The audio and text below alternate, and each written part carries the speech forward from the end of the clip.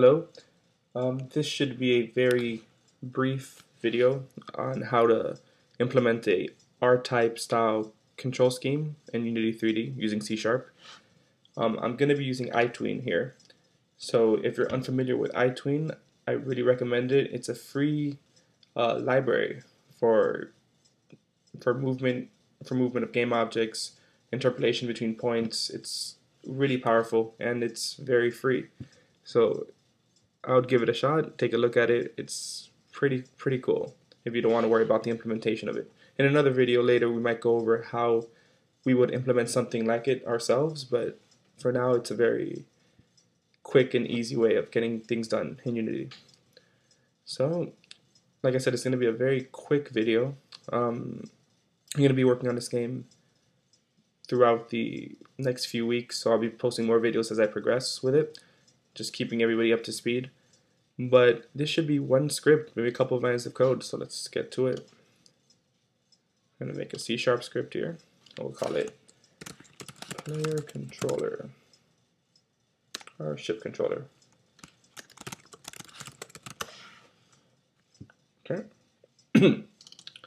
we'll open that up. And we there's nothing that needs to be um, initialized here. The update function. I'm assuming that we have a, a basic understanding of how Unity works. If you don't, uh, I might make some more basic videos, but if you don't know what the update function is, update is called once per frame. Um, this is where you'd want to have any kind of movement code, anything that needs to be, you know, your position needs to be updated once, once per frame. If it's continuously moving, uh, anything else that needs to be updated, you would do it here because it's called over and over again throughout the life of the game. We know if you look back in the, the space figure, see it's going to be moving in two axes only, not three. Moving left and right across the x-axis, and up and down across the y-axis. And that's it. The There's no motion across the z-axis. So, come back here. We can, we know that we're not going to have to worry about any z motion. So, let's go ahead and make a, a new vector 3. We're not making a vector 2, um, even though we're only using two of the, the three axes, axes because transform position is a vector 3. Um, that's just an implementation of what what the transform does. So even though we are only using two values, we're still going to use a vector 3. So vector 3, new position, the new position they're going to want after the end of this frame, equals new vector 3, and takes three parameters. Right, so the first parameter is likely going to be, well, it's definitely going to have something to do with whatever the input is. In Unity, to get the input, there's an input, uh, an input class, sorry, Unity engine.input. From there, it exposes get axis. And since the first parameter is the x, the x-axis, we know we're going to want the x-axis to correspond with the horizontal. So that just means, depending on what kind of what kind of input it is. If it's a joystick, that just means left or right on the joystick. On a keyboard, it can be the right arrow, left arrow. You can set it up however you want. But right now it's set up as the arrow keys by default. That's what it is. The arrow keys or the WASD keys. So we want to get that. And that value, the, the get axis value, is going to go from negative 1 to 1 depending on depending on how far to the left, negative, or how far to the right, positive the joystick is or whether what key you're holding and whatnot. So you have that. So that's going to give you negative 1 to 1. Um, I guess we can go up here and say public int speed. Just a value that we can change later and adjust because we're going to be taking this input and multiplying that by speed. So now it's not instead of oscillating between negative 1 and 1, it's going between negative speed and speed, going back and forth at the same speed. And time dot delta time. I'm going to go over that a little bit later. Um, but for now, you can just think of it as a way to make sure that instead of this happening on a per frame basis, it happens per millis per second. Uh, I'm gonna go into detail more later on that, but um, so that's this entire thing here between input dot get axis times out times time dot delta time. That's the first parameter. That's your x parameter. Now you see we need a y parameter and a z parameter. Y it's pretty sim pretty similar. Input dot get vertical this time times speed times time dot delta time. And if you want to have a different vertical speed than horizontal speed, this is where you would put the values. And for the last value, we can just say it is, oh, on, before we do that, we got one very important thing. Here. X. I'm going to go over this right now.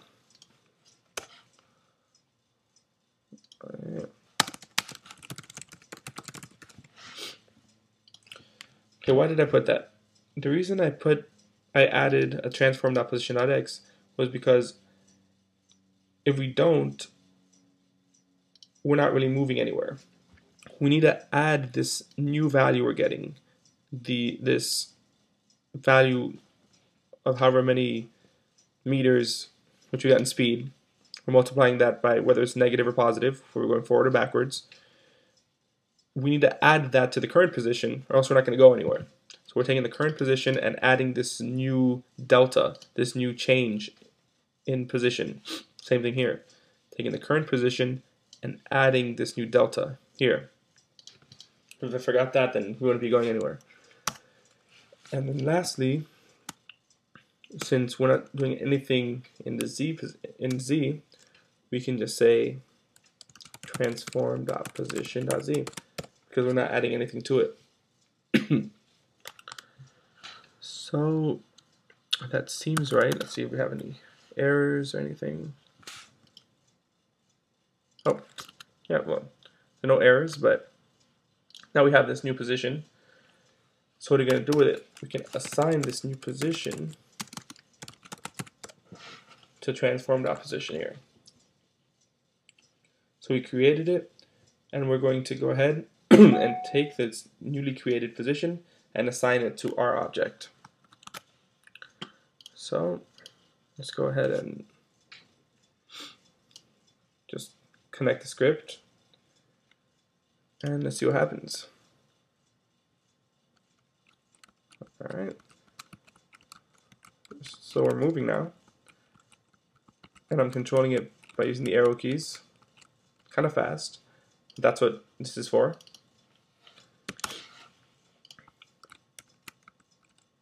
To control the speed. See that's smoother. So you can see it a little bit better now. Alright so although this is working um, you can see that it's very static and that you can definitely see it's just one model moving back and forth. It's it moves around, but it can kind of it, it kind of looks weird. It, it, would be better if it a little, bit of rotation, and that's what we're gonna do with uh, iTween. So get out of this, and let's head back to MonoDevelop. And now we can create a new vector 3 same, same thing that we did here. New position, except this time it's going to be a new rotation. Equals new vector 3. And this one, it's going to be, I believe it's going to be, yeah, 0, 90, because the way the rotations work is that it's a vector 3. Um, you have your x rotation, your y rotation, and your z rotation. Um, we're hard setting the values of these 0, 90 just because if we go back into Unity and look at the spaceship, that's what these values are, 0, 90. This is what it's going to be rotating on. because if this is the z angle local to the ship, we want to rotate it across that axis. See? So these are hard set to what their values are supposed to be, and then z is what's going to be changing. We have 0, 90, and the z value is going to be again dependent on the input. Get axis, and we're going to do it vertical here. So when it goes up, it should turn one way, down it should turn the other way. And can let's just hard code 45. Nah, let's banking angle here. Um,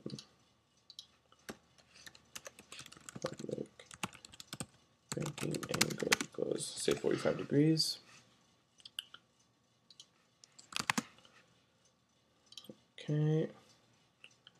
Times banking angle and times time that. Well, let's just let's just see how it feels here. Uh, what am I missing? Iteration, new vector 3. I I am.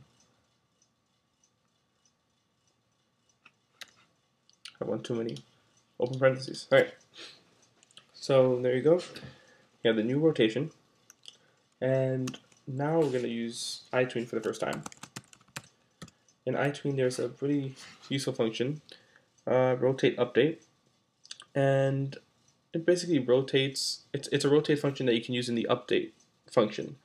Um, so it constantly adjust to, to try to get to a certain angle, rotate towards a certain angle given a certain time. And actually, we can put it int banking speed. Set that for 5 now. I'm just guessing numbers. We'll see how it looks later. So given a certain speed, which is our banking speed, a given time, how long it takes for it to reach that angle we want, which is 45 degrees, um, we can slowly rotate there. So that's what rotate update does for us.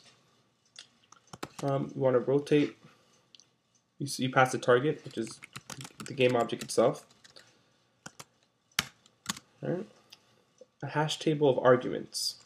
So iTween has its own hash table. Parameters that we can set. The um, first parameter is going to be rotation. And we already set up what the rotation is going to be right here, new rotation. We just put that in there. Time, which is going to be the banking speed.